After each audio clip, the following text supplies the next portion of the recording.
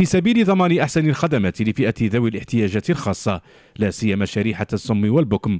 عملت مديرية أمن ولاية سيدي بالعباس بالتنسيق مع نظيرتها للنشاط الاجتماعي على تكوين أفرادها في لغة الإشارات بما يسمح لهم بالتواصل مع هذه الفئة.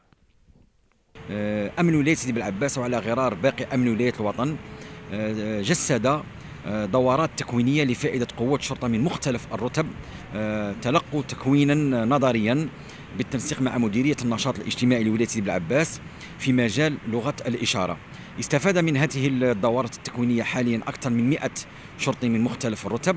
هم موزعين على مختلف المقرات الأمنية. هم يتكفلون أيضا باستقبال وتوجيه فئة ذوي الاحتياجات الخاصة. صعوبات كبيرة ظلت تجدها هذه الفئة في طرح انشغالاتها ومطالبها كلما تقدمت من المقرات الأمنية قبل أن تأتي هذه المبادرة وتفك عنها هذا الإشكال. أنا اليوم فرحان. بكري مكان la police إشارة مرتبطة مكان. أنا عندي problème بكري.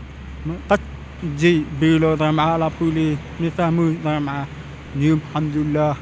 هو كاينة la police إشارة مرتبطة حنا نفرح جي نفهم عاونو شكرا. في لابوليس لا جي مع عجل بدنية. بيطار ثلاث ترى كل. أنا باغي